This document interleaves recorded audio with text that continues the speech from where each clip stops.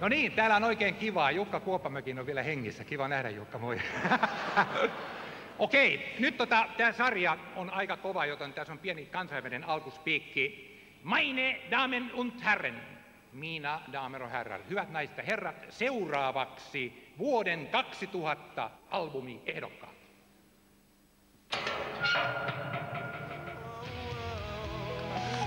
Razor Blade Romance.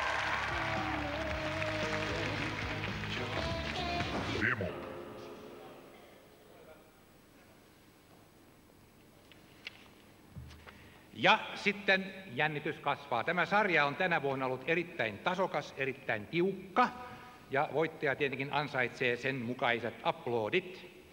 Ja kun näen tämän tuloksen, voin vain todeta, että rautakansleri Hindenburg pyörii haudassaan, sillä Saksa on saanut uudet rautakanslerit, jotka ovat valaisseet Euroopan. Sillä vuoden 2000 albumi on Razor Blades Romance ja Him! Yeah!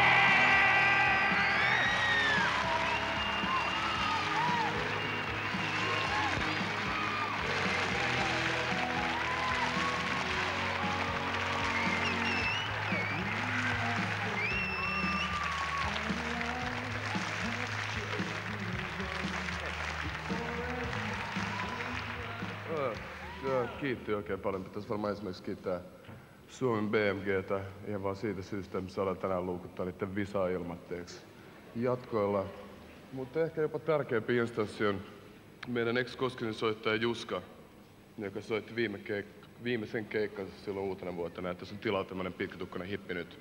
Tottele nimenä Burton ja, tota, ja Linde on yhtä mykkä kuin aina aikaisemminkin, joten hän ei sano yhtään mitään, joten mä sanon hänen puolestaan, että kiitos.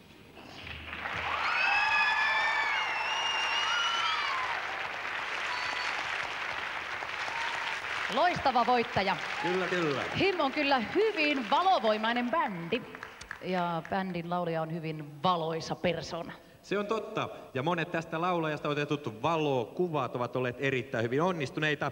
Ja onhan se niin, että tässä pimeässä maassamme ei valoa ole koskaan liikaa. Juuri näin, juuri näin. Mutta vaikka me mielellämme jatkaisimme näiden valoaiheisten sanaleikkien parissa puoli yhdeksään asti, niin ohjelmamme tuottaja on jostain syystä ihan eri mieltä. Kyllähän näyttää kansainvälisillä käsimerkeillä, että suu poikki juontajat tai juonatte seuraava ohjelmanne Siperiassa. Joten arvoisa yleisö, nyt täällä esiintyy suoraan eksoottisesta Suomesta Fintelligence.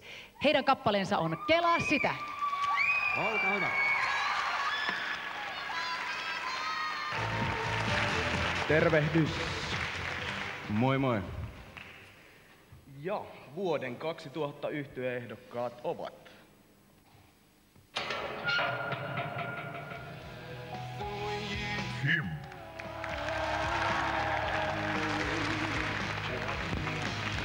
Nylon B. Saat tavata.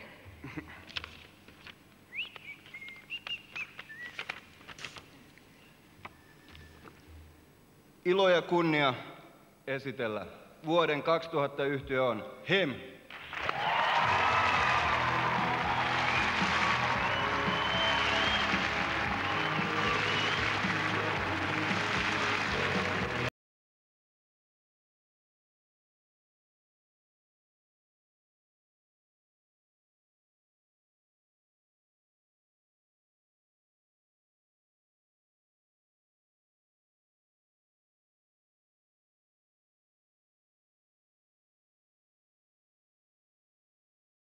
Varmaan tehdä äärimmäisen huono levy seuraavaksi kerraksi.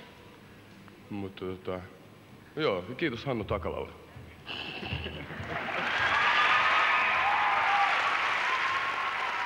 Kiitoksia Reiska ja Kismo ja onnittelut on mahdottoman.